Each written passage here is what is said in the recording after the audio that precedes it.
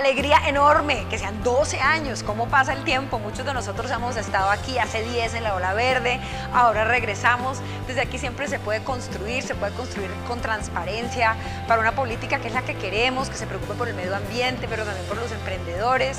Qué rico estar aquí en el verde, qué rico saber que llevamos 12 años y todo lo que nos falta por construir.